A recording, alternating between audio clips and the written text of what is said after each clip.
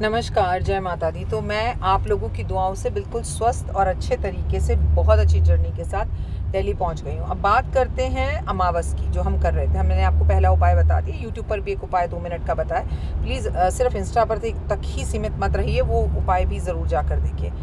कहते हैं, हर अमावस वाले दिन सुबह दस बजे महालक्ष्मी जो है, वो पीपल के पेड़ में ज़रूर आती हैं, वास करती हैं।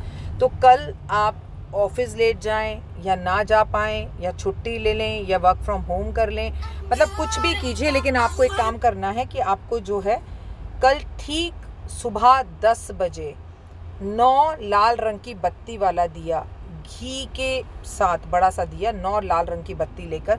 उसे आपको प्रज्वलित करना है, उसे आपको जलाना है। और एक बात याद रखनी है कि जब आप इसे जलाएँ तो इसके अंदर थोड़ा सा एक बूंद शहद ज़रूर दिला दें।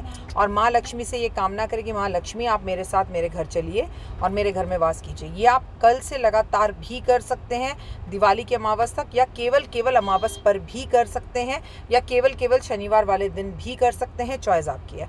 अब बात एयरपोर्ट की। जिन लोगों को उस व्यक्ति ने सीट नहीं दी, उसे आगे पीछे सीट मिल गई थी। मैं ये नहीं कह रही थी कि सीट ना दूँ या मैं उठकर उसे अपनी सीट दे दूँ, वो एयरपोर्ट है जंगल नहीं है कि वहाँ पर दो ही सीटें होंगी।